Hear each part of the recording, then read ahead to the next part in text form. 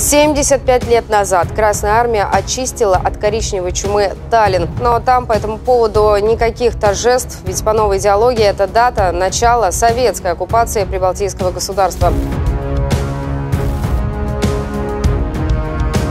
Мы неоднократно повторяли, что нет и не было никакой советской оккупации Эстонии. И вхождение страны в состав СССР произошло в соответствии со стандартами международного права. Но у современных эстонцев свое видение.